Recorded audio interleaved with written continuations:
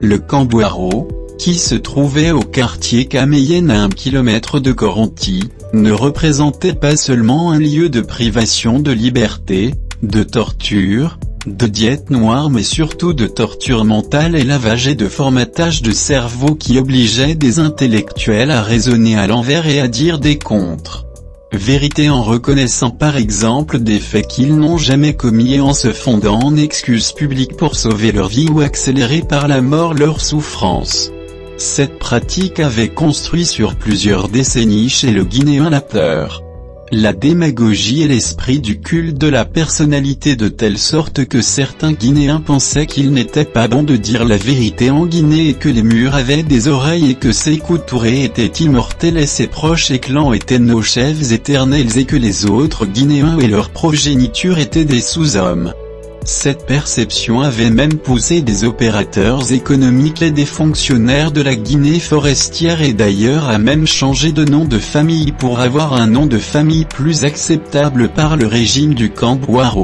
Cette pratique de la menace du camp avait fait disparaître chez le Guinéen l'esprit critique qui permet l'innovation et le progrès économique et intellectuel des nations. À cause de ces pratiques, l'intellectuel guinéen, dominé désormais par la peur de la prison a cessé de jouer son rôle d'éveilleur des consciences pour devenir durablement démagogue, menteur et courtisan du pouvoir comme des griots.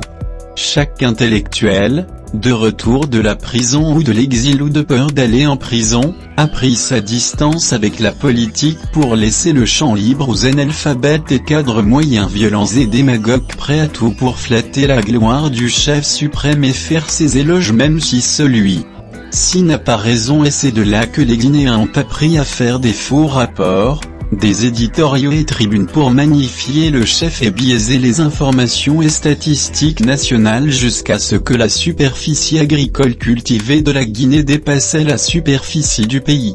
Il a fallu la fermeture de cette prison le 3 avril 1984 pour que le Guinéen puisse comprendre qu'un autre monde de la liberté d'expression, de pensée, d'entreprise,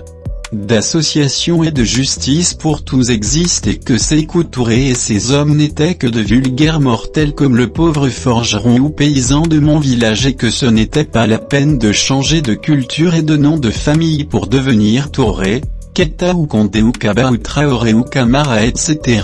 ou inventer des liens imaginaires avec le clan du chef suprême.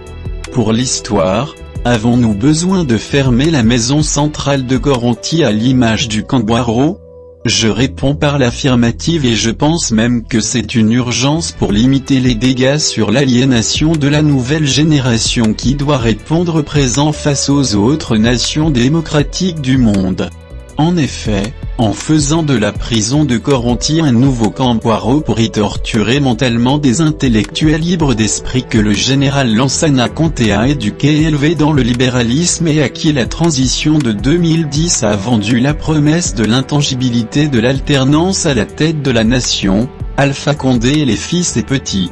fils des proches de Sékou Touré qui nous dirige aujourd'hui par la force, nous ramène effectivement là où Sékou Touré nous a laissé dans le formatage des esprits vers le mensonge collectif au sein de laquelle dire la vérité est un péché ou se contenter de son salaire de fonctionnaire une malédiction sociétale. Collectivement, nous devons condamner Alpha Condé et l'exiger plutôt des excuses pour le fait que sa gouvernance et de son acte personnel de vouloir un troisième mandat a fait endeuiller des centaines de familles sans compassion, violer nos lois, emprisonner des innocents, retarder économiquement notre pays et ternir l'image de la nation. La situation est certes dure pour chacun de nous, pour chaque prisonnier, pour chaque victime, mais n'abandonnons pas nos valeurs et notre mission de changer positivement la Guinée en faisant de la vérité de notre alliance nationale pour l'alternance et de la démocratie une réalité au lieu d'enseigner à nos enfants l'idée tordue que la prison de Coronti est une école ou une université. Les écoles et les universités ont des programmes et des enseignants qui forment des élèves et des étudiants pour le monde de manière universelle, la prison de Coronti n'a que des tortionnaires.